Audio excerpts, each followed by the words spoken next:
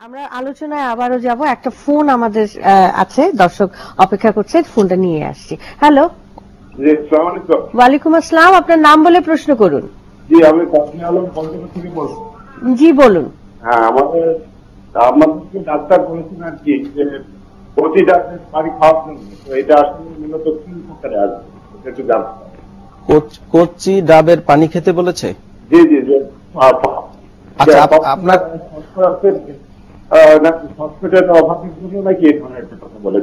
আপনার এমনিতে কোনো সমস্যা হচ্ছে শারীরিক? হ্যাঁ মানে মাসুলে ব্যথা হয়।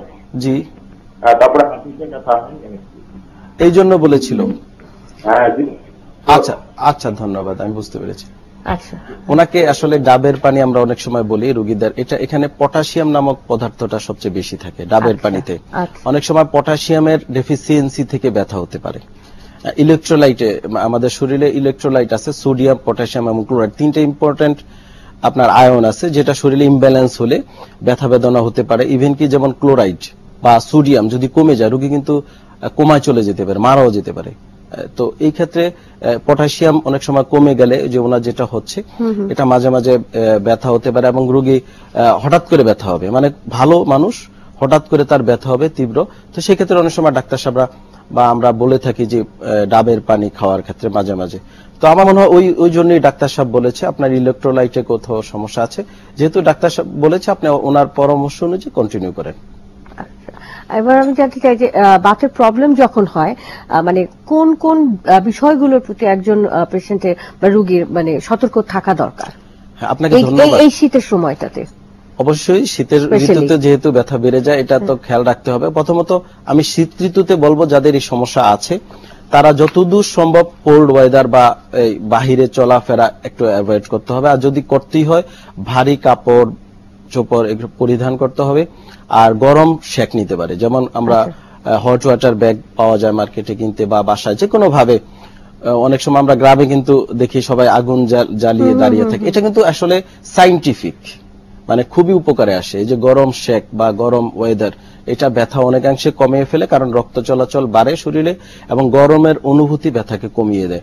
তো এইগুলা তো রুগী করতেই পারে। আর যা কিছু হোক, আরেকটা বাংলাদেশে আমরা রুগী বেশিরভাগই দেখি ব্যথা হলেই ব্যথার ওষুধ খায়।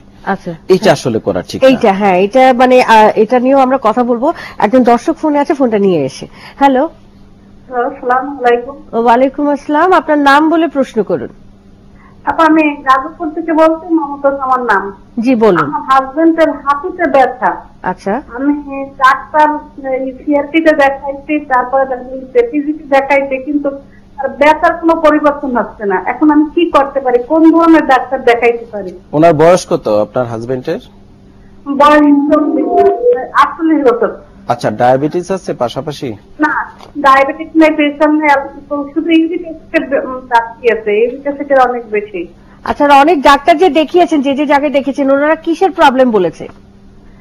এক ডাক্তার বলছে দাঁতের প্রবলেম আর এক ডাক্তার বলছে যে হাঁটুর গ্যাপ কমে গেছে তাই। ব্যথা হচ্ছে। এখন কি সঠিক তা তো আমরা কিছুই বুঝতেছি না। আচ্ছা। জি ধন্যবাদ। আমি উত্তর দিচ্ছি। ওনার হাজবেন্ডের যে সমস্যাটা অস্ট্রিওআর্থ্রাইটিস আমি যে বলছিলাম যেটা হ্যাঁ যেটা বলছিলেন কথা বলছিলাম।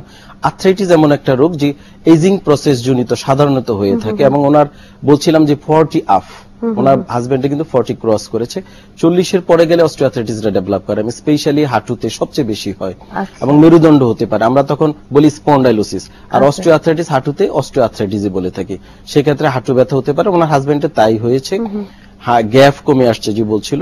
সেক্ষেত্রে যদি আমরা এক্স রে করি দেখা যায় যে হাঁটুর যে পরিমাণ গ্যাপ থাকার কথা সেটা কমে আসে। বিকজ কার্টিলেসটা ইরোশন হয় ক্ষয় হয়ে দুইটা হাড় খুব ক্লোজলি চলে আসে। আসলে এই ক্ষেত্রে চিকিৎসা কি? এই ক্ষেত্রে একেবারে মেইন ট্রিটমেন্ট হচ্ছে তাকে ফিজিওথেরাপি নিতে হবে। ফিজিওথেরাপি হচ্ছে বেস্ট ট্রিটমেন্ট আমি একটু পূর্বে আপনি বলছিলেন যে ব্যথার ওষুধ।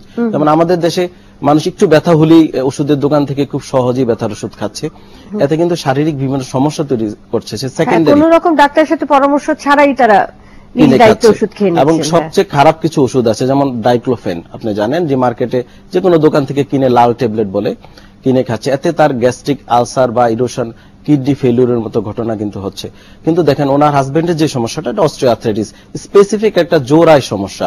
তো সেই ক্ষেত্রে আমরা যেমন ফিজিওথেরাপি চিকিৎসাটা হচ্ছে স্পেসিফিক জোড়াতেই আমরা করতে পারি। মানে ওষুধ খাওয়ার তেমন কোনো এখানে প্রয়োজন নেই। তারপরে আমি বলব উনি যদি বাসায় গরম শেক দিতে পারে হাঁটুতে কিছু এক্সারসাইজ আছে। আমরা কোয়াড্রিসেপ মাসেল এক্সারসাইজ বলি। হাজবেন্ডের ওনার হাজবেন্ডের ওজন যদি বেশি হয়ে থাকে ওজনটা কমিয়ে ফেলতে হবে এক্সারসাইজ করতে হবে এবং হাঁটু ব্যথার ক্ষেত্রে আমরা অনেক সময় যে চেয়ারে বসে নামাজ পড়া এটা আসলে অ্যাভয়েড করতে হবে। কারণ আমাদের যে স্টাডি এখন আমরা দেখছি যে দীর্ঘদিন যদি আপনি চেয়ারে বসে বা উঠ বস না করেন জোড়া আরও নষ্ট হয়ে যেতে পারে জোড়ার ভিতরে আরও বেশি খারাপের দিকে যেতে পারে। আচ্ছা। এক্সারসাইজ তাকে করতে হবে। আচ্ছা আচ্ছা।